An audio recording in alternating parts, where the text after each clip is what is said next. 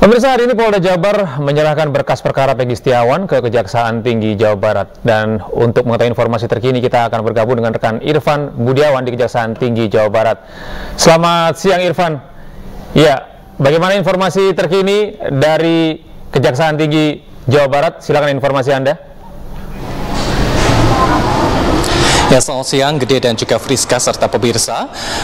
Pem penyerahan berkas perkara terkait kasus pembunuhan Vina dan juga Eki Cirebon dengan tersangka Peggy Setiawan baru saja diserahkan oleh tim dari Polda Jawa Barat dan diterima oleh tim dari Kejaksaan Tinggi Jawa Barat sekira pukul 11 waktu Indonesia Barat di mana penyerahan berkas perkara um, kasus pembunuhan Vina dan juga Eki Cirebon dengan tersangka Peggy Setiawan diterima oleh petugas PTSP ataupun juga pelayanan terpadu satu pintu dan dilakukan uh, secara simbolis penyerahan dengan penandatanganan serah terima oleh uh, tim dari Polda Jawa Barat dengan tim dari Kejaksaan Tinggi Jawa Barat.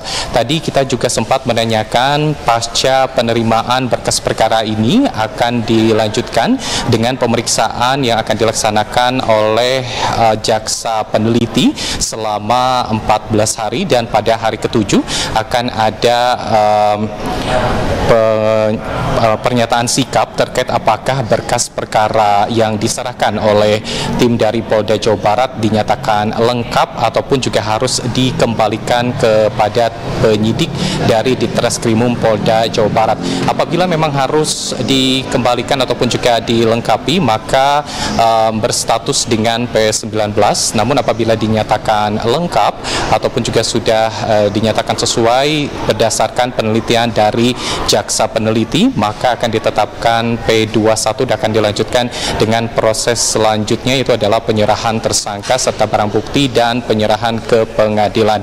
Dan hingga saat ini uh, tim dari Polda Jawa Barat sudah meninggalkan gedung um, Kejati Jawa Barat dan juga kita masih memantau tentunya seperti apa kondisi uh, pasca juga penerimaan berkas perkara di gedung Kejati Jawa Barat. Untuk sementara itu dia laporan dari uh, Kejati Jawa Barat. Kita kembali ke studio bersama Gede dan juga Friska. Iya, baik terima kasih Irfan dan selanjutnya pemirsa kita sudah terhubung dengan rekan Faisal Rinaldi di Mabes Polri Jakarta. Selamat siang Faisal, apa informasi yang disampaikan oleh kuasa hukum Peggy yang tadi sempat datang ke Mabes Polri?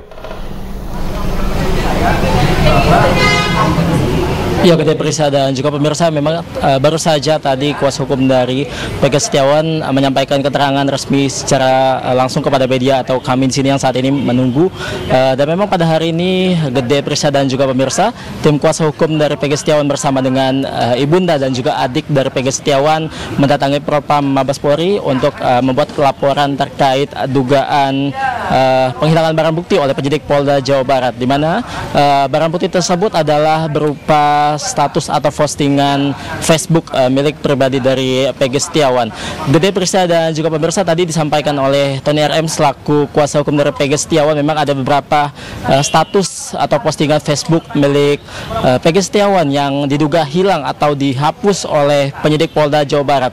Di antaranya ada postingan atau status pada tanggal 12 Agustus 2016 lalu yang memang pada tanggal itu Pegi Setiawan membuat postingan atau status yang menunjukkan bahwa dirinya menuju ke Bandung untuk bekerja. Kemudian untuk uh, postingan atau selanjutnya ada di tanggal 17 Agustus 2016 di mana pada tanggal itu Peggy Setiawan juga membuat status bahwa dirinya sedang bekerja di Cirebon. Kemudian untuk status selanjutnya ada di tanggal 24 Agustus 2016 di mana status tersebut juga menunjukkan bahwa Peggy Setiawan sedang tidak berada di kampung halamannya yakni di uh, Cirebon begitu dan pada tanggal uh, Agustus 2016 memang ada sejumlah status lainnya yang memang saat ini dikatakan hilang oleh kuasa hukum dari PG Setiawan. Dan memang uh, Gede dan juga pemirsa dapat kami sampaikan pula bahwa memang antara, uh, untuk hari ini kuasa hukum dari PG Setiawan tadi melaporkan ke Propam Mabes Polri terkait hilangnya status tersebut yang memang uh, diduga dihapus oleh penyidik Polda Jawa Barat.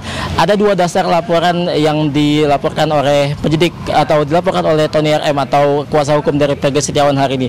Di mana dasar laporannya adalah terkait postingan hilang atau postingan uh, hilangnya postingan Facebook milik PG Setiawan. Kemudian juga sempat dikatakan oleh PG Setiawan kepada kuasa hukumnya bahwa ia sempat dimintai password atau kata sandi Facebook atau uh, Facebook milik Pradija begitu kepada penyidik Polda, Polda Jawa Barat pada saat pemeriksaan beberapa waktu yang lalu.